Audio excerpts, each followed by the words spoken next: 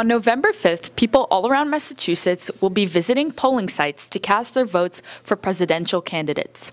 This ballot also contains the question regarding minimum wage and tipping in Massachusetts.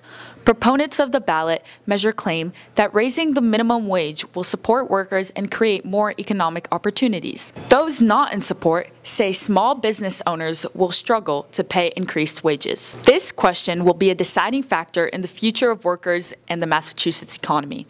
We talked to members of Project Protect Tips, an organization against the ballot, as well as pro tip pooling workers.